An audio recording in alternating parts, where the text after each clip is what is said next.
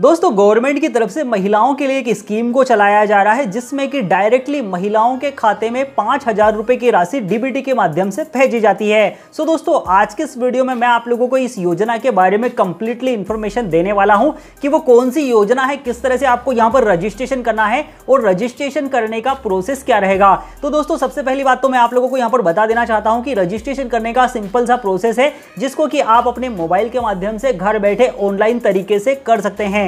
तो कौन कौन सी महिलाएँ यहाँ पर अप्लीकेशन कर सकती है? कौन कौन सा एलिजिबिलिटी क्राइटेरिया आपके पास में होना चाहिए? और कौन कौन से डॉक्यूमेंटेशन आपको यहाँ पर लगेंगे? किस तरह से आपको जो है अपने मोबाइल से ऑनलाइन आवेदन करना है? पूरा प्रोसेस मैं आपको जो इस वीडियो में बताने वाला हूँ। तो वीडियो आप सभी के लिए काफ़ी ज़्यादा इन्फॉर्मेटिव होने वाला है तो वीडियो को एंड तक ज़रूर से देखिएगा। और हाँ अगर आप हमारे चैनल पर पहली बार आए हैं तो चैनल को सब्सक्राइब करके बेल आइकन को ज़रूर से प्रेस कर दीजिए। इसी तरह का कंटेंट आप लोगों को हमारे चैनल पर मिलता रहता है। तो चलिए वीडियो को शुरू करते हैं।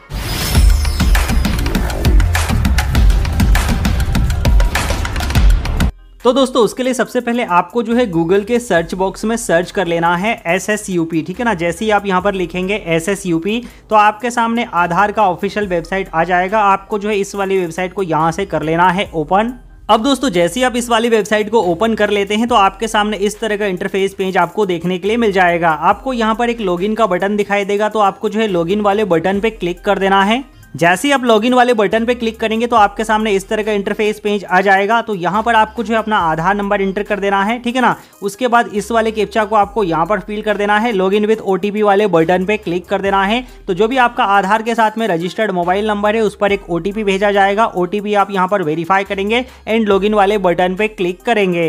अभी दोस्तों, जैसे ही आप अपना आधार का पोर्टल यहाँ पर लॉग कर लेंगे तो आपके सामने इस तरह का इंटरफेस पेज आ जाएगा, ठीक है ना? यहाँ पर आपको जो है काफ़ी सारे ऑप्शन दिखाई देंगे। तो यहाँ पर आपको एक ऑप्शन देखने के लिए मिलेगा बैंक सेडिंग स्टेटस का। तो आपको जो है इस वाले ऑप्शन पर क्लिक कर देना है।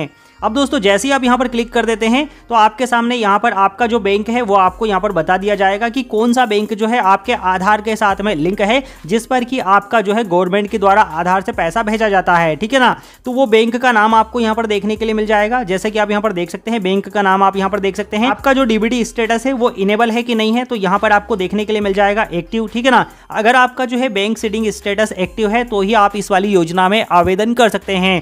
क्योंकि यहाँ पर जितना भी पैसा गवर्नमेंट गवर्नमेंट के द्वारा दिया जाता है, वो सारा का सारा फंड जो है आधार डीबीटी के माध्यम से दिया जाता है। तो आपका यहाँ पर डीबीटी एक्टिव होना चाहिए, ठीक है ना? अब दोस्तों, अगर आपका जो है डीबीटी एक्टिव है तो फिर आपको क्या करना है? फिर आपको जो है इस वाली वेबसाइट पर आ जाना है। इसका डायरेक्ट लिंक आपको नीचे वीडियो के डिस्क्रिप्शन में मिल जाएगा। अभी दोस्तों, जैसे ही आप इस वाली वेबसाइट पर आ जाते हैं तो आपके सामने इस तरह का इंटरफेस पेज ओपन हो जाएगा। जैसे कि आप यहाँ पर देख सकते हैं, महिला एवं बाल विकास मंत्रालय के द्वारा इस वाली योजना को जो है चलाया जा रहा है। योजना का नाम है प्रधानमंत्री मातृ वंदना योजना। दोस्तों, प्रधानमंत्री मातृ वंदना योजना के अंतर्गत जो है, यहाँ पर गर्भवती महिलाओं को और जो स्तनपान कराने वाली माताएँ होती है, उनको गवर्नमेंट की तरफ़ से पैसा दिया जाता है, जिसमें कि यहाँ पर पहली संतान पर यहाँ पर गवर्नमेंट की तरफ़ से पाँच हज़ार रुपए की राशि दी जाती है। और अगर मान लीजिए दूसरी संतान आपके घर पर बेटी होती है तो उस कंडीशन में आपको जो है छह हज़ार रुपए की राशि गवर्नमेंट की तरफ़ से यहाँ पर दी जाती है। अब दोस्तों, अगर आपको जो है इस वाली स्कीम में आवेदन करना है तो आपको आवेदन कैसे करना होगा? तो उसके लिए यहाँ पर आपको जो एक सिटीजन लॉगिन का ऑप्शन देखने के लिए मिलता है तो आपको जो है सिटीजन लॉगिन वाले बटन पे क्लिक कर देना है। जैसे आप सिटीजन लॉगिन वाले बटन पे क्लिक करेंगे तो यहाँ पर आपको मोबाइल नंबर डालने का ऑप्शन आ जाएगा। आप यहाँ पर मोबाइल नंबर डालकर वेरीफाई वाले बटन पे क्लिक करेंगे। तो यहाँ पर आपके सामने इस तरह का अकाउंट क्रिएट का फॉर्म आ जाएगा, ठीक है ना? अब दोस्तों, यहाँ पर आपको अकाउंट क्रिएट कैसे करना है? तो सबसे पहले तो यहाँ पर आपको अपना नाम लिख देना है, ठीक है ना? मतलब जो भी एप्लीकेशन यहाँ पर कर रहा है, उसका नाम आपको लिख देना है स्टेट आपको यहाँ पर सिलेक्ट कर लेना है। तो ये जो है स्कीम भारत के किसी भी स्टेट से आप बिलोंग करने वाले हैं। आप जो है, इस वाली स्कीम में अपना रजिस्ट्रेशन कर सकते हैं। सभी स्टेट में स्कीम को लाइव किया गया है। उसके बाद आपको अपना डिस्ट्रिक्ट चयन कर लेना है। उसके बाद यहाँ पर आपको जो है अपना एरिया सेलेक्ट कर लेना है कि आप जो है ग्रामीण क्षेत्र के रहने वाले हैं या आप अर्बन शहरी क्षेत्र के रहने वाले हैं। उसके बाद यहाँ पर आपको जो है अपना ब्लॉक सेलेक्ट कर लेना है। उसके बाद यहाँ पर आपको अपना विलेज या वार्ड सिलेक्ट कर लेना है, ठीक है ना? उसके बाद यहाँ पर आपको जो है रिलेशनशिप विद बेनिफिशियरी ठीक है ना? बेनिफिशियरी के साथ में आपका क्या रिलेशनशिप है? आप जो है बेनिफिशियरी के पिता अप्लीकेशन कर रहे हैं बेनिफिशियरी के ससुर अप्लीकेशन कर रहे हैं, या जो बेनिफिशियरी उनकी माता अप्लीकेशन कर रही है, या बेनिफिशियरी खुद से ही अपना अप्लीकेशन कर रहा है, ठीक है ना? तो यहाँ पर जो है सेल्फ भी आप कर सकते हैं, या आपके परिवार का कोई व्यक्ति है, उसके नाम से भी आप रजिस्ट्रेशन कर सकते हैं। सारी इन्फॉर्मेशन को फिल करने के बाद आप जो है क्रिएट अकाउंट वाले बटन पे क्लिक करेंगे। आपका जो भी मोबाइल नंबर आपने यहाँ पर प्रोवाइड किया है, उस पर एक ओटीपी भेजा जाएगा। ओटीपी आपको यहाँ पर वेरीफाई कर देना है। जैसे आप ओ टी वेरीफाई कर देते हैं तो फिर आपको जो है लॉगिन के लिए कहा जाएगा। अगर आपको लॉगिन का ऑप्शन नहीं आता है तो घबराने की ज़रूरत नहीं है। आपको दोबारा से होम पेज पर चले जाना है। यहाँ पर आ जाने के बाद आपको जो है एक बार फिर से सिटीजन लॉगिन वाले बटन पर क्लिक कर देना है।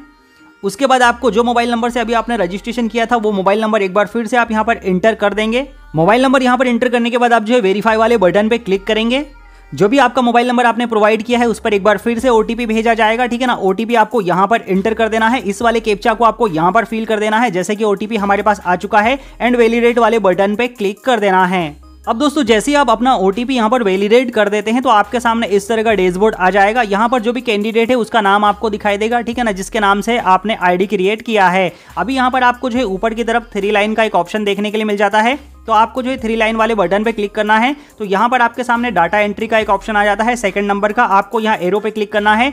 तो जैसे ही आप एरो पे क्लिक करते हैं तो आपको यहाँ पर बेनिफिशियरी रजिस्ट्रेशन का ऑप्शन देखने के लिए मिल जाता है। आपको सिंपली करना क्या है बेनिफिशियरी रजिस्ट्रेशन वाले बटन पर क्लिक कर देना है। तो जैसे आप बेनिफिशियरी रजिस्ट्रेशन वाले बटन पे क्लिक करते हैं तो यहाँ पर आपके सामने बेनिफिशियरी रजिस्ट्रेशन का एक फॉर्म खुलकर ओपन हो जाता है। इस वाले फॉर्म को आपको जो है फिल करना होगा। तो कैसे फिल करना है? चलिए मैं आप लोगों को फटाफट से बता देता हूँ। तो सबसे पहले यहाँ पर आपको जो है सिलेक्ट कर लेना होगा कि बेनिफिशियरी जो है किसी भी तरह से कोई सेंट्रल गवर्नमेंट का या गवर्नमेंट एम्प्लॉय तो नहीं है। आप इसको अपने अकॉर्डिंग येस नो सेलेक्ट करेंगे। उसके बाद यहाँ पर आपसे पूछा जाएगा, क्या आप जो है यहाँ पर अप्लीकेशन कर रहे हैं? पहले बच्चे के लिए कर रहे हैं, दूसरे बच्चे के लिए कर रहे हैं? तो जैसे कि मैंने आपको बताया, यहाँ पर फ़र्स्ट चाइल्ड के लिए आप कर सकते हैं, लड़का हो या लड़की हो, लेकिन सेकंड चाइल्ड में आप जो है कंडीशन में कर सकते हैं, जब सेकंड चाइल्ड में आपके यहाँ पर लड़की हो, ठीक है ना? उसके बाद यहाँ पर आपको जो है नंबर ऑफ़ लिविंग चिल्ड्रन की संख्या बता देनी होगी। तो अगर आप जो है फ़र्स्ट चाइल्ड के लिए अप्लीकेशन कर रहे हैं तो नंबर ऑफ़ लिविंग चिल्ड्रन में आप जो है ज़ीरो रखेंगे। अगर आप जो है सेकंड चाइल्ड के लिए कर रहे हैं तो नंबर ऑफ़ लिविंग चिल्ड्रन में आप एक रखेंगे, ठीक है ना? उसके बाद यहाँ पर आपसे पूछा जाएगा, क्या बेनिफिशियरी के पास आधार कार्ड है? तो जैसा कि मैंने आपको स्टार्टिंग में बताया कि सारा पेमेंट यहाँ पर आधार कार्ड से आता है, आपको अकाउंट नंबर किसी भी तरह से देने की आवश्यकता नहीं है। तो यहाँ पर आपके पास में आधार कार्ड होना ज़रूरी है, आप यस टिक आउट करेंगे। टर्म को एग्री करेंगे स्कोल डाउन करके नीचे की तरफ़ आएँगे। अब यहाँ पर आपको जो है बेनिफिशियरी का नाम एंटर कर देना है, जैसे कि यहाँ पर बताया गया है, जो आधार कार्ड में है, उसी के अकॉर्डिंग आपको नाम यहाँ पर लिखना है स्पेलिंग मिस्टेक नहीं करनी है। आधार नंबर आपको यहाँ पर एंटर कर देना है डेट ऑफ़ बर्थ आपको यहाँ पर एंटर कर देना है तो एज यहाँ पर ऑटोमेटिक आ जाएगा। उसके बाद यहाँ पर आपको कैटेगरी सेलेक्ट कर लेना है, ठीक है ना? तो यहाँ पर आपको जो है एससी के लिए एसटी के लिए सेपरेट कैटेगरी है, लेकिन अगर आप जो है जनरल कैटेगरी से आते हैं, अगर आप जो है ओबीसी कैटेगरी से आते हैं तो आपको अदर वाले ऑप्शन को टिकआउट करना होगा। मोबाइल नंबर आपका जो है यहाँ पर आपको बताया जाएगा, जो मोबाइल नंबर से आपने लॉगिन किया है। ये मोबाइल नंबर किसका है? ये आपको यहाँ पर बताना होगा कि मोबाइल नंबर आपका खुद का है, हस्बैंड का है, माता का है, पिता का है, आप यहाँ पर बताएँगे। उसके बाद यहाँ पर आपको जो है एलिजिबिलिटी प्रूफ में कुछ डॉक्यूमेंट आपसे मांगे जाएँगे, ठीक है ना? तो यहाँ पर जैसे ही आप क्लिक करेंगे, आपके सामने डॉक्यूमेंट की लंबी सी लिस्ट आ जाएगी, जिसमें कि आपके पास में इनमें से कोई भी एक डॉक्यूमेंट होना अनिवार्य है, ठीक है ना? जैसे कि महिला की जो फैमिली है, उसकी इनकम जो है आठ लाख रुपए से कम होनी चाहिए। मनरेगा जॉब कार्ड आपके पास है तो आप अप्लीकेशन कर सकते हैं, ठीक है ना? फार्मर बेनिफिशियरी अंडर पीएम किसान सम्मान निधि योजना। अगर आप जो है पीएम किसान सम्मान निधि योजना के अंतर्गत पात्र हैं तो आप जो एप्लीकेशन कर सकते हैं। अगर आपके पास में ई श्रम कार्ड है तो आप एप्लीकेशन कर सकते हैं। अगर आप जो है प्रधानमंत्री जन आरोग्य योजना के अंतर्गत आपका नाम है तो आप जो है अप्लीकेशन कर सकते हैं। मतलब आपका आयुष्मान भारत का कार्ड बना हुआ है तो ठीक है ना?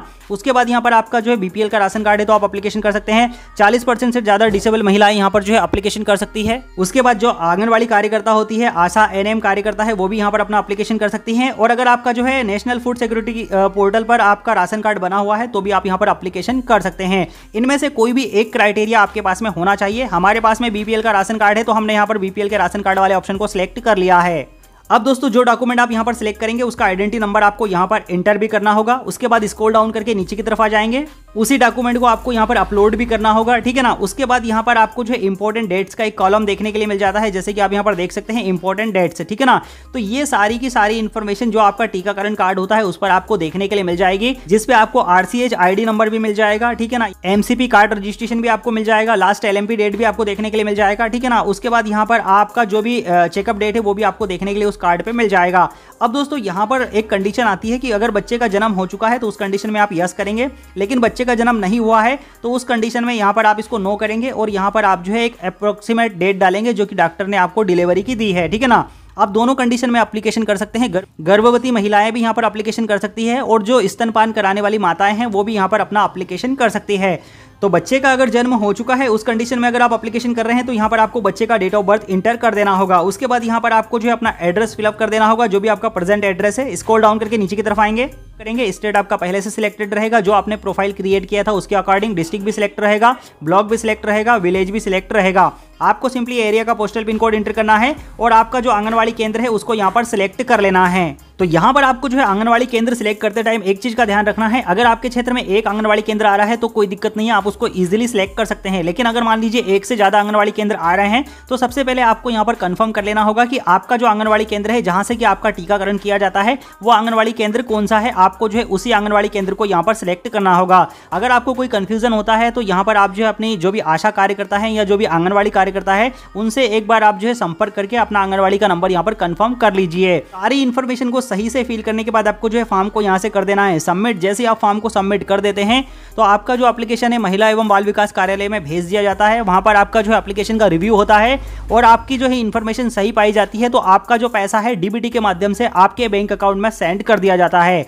अब काफ़ी सारे लोग जो है ये भी पूछते हैं कि सर, हमने यहाँ पर बैंक अकाउंट तो प्रोवाइड किया ही नहीं है तो यहाँ पर जितना भी सारा फंड मिलता है, वो आधार डीबीटी सिस्टम के माध्यम से मिलता है। मतलब आपका जो है आधार नंबर से पे किया जाता है, और आपका जो आधार नंबर है, उससे आपका जो भी बैंक अकाउंट का डीबीटी इनेबल है, उस वाले अकाउंट में पैसा चला जाता है। उसको भी आप जो है चेक कर सकते हैं, उस पर भी मैंने ऑलरेडी वीडियो बना के रखा है। अगर आपने नहीं देखा होगा तो इस वीडियो के एंड में आपको जो है मिल जाएगा। तो दोस्तों, इस तरह से आप जो है प्रधानमंत्री मातृ वंदना योजना के अंतर्गत अगर आवेदन करते हैं तो गवर्नमेंट की तरफ़ से आप जो है पाँच हज़ार रुपए की राशि का बेनिफिट ले सकते हैं। और अगर मान लीजिए आप सेकंड चाइल्ड गर्ल के लिए एप्लीकेशन करते हैं तो आप जो है छह हज़ार रुपए तक की राशि का बेनिफिट यहाँ पर ले सकते हैं। उम्मीद करता हूँ कि आज का वीडियो आप सभी के लिए काफ़ी ज़्यादा इन्फॉर्मेटिव रहा होगा। तो अगर आपको वीडियो से थोड़ी सी भी इन्फॉर्मेशन मिली हो तो वीडियो को लाइक करना बिल्कुल भी मत भूलिएगा। इस वीडियो को ज़्यादा से ज़्यादा अपने फ्रेंड्स और फैमिली के साथ में शेयर कीजिएगा। मैं मिलता हूँ आपसे नेक्स्ट वीडियो में किसी नई इन्फॉर्मेशन के साथ। तब तक के लिए आप अपना ख्याल रखिए। जय हिंद, जय भारत।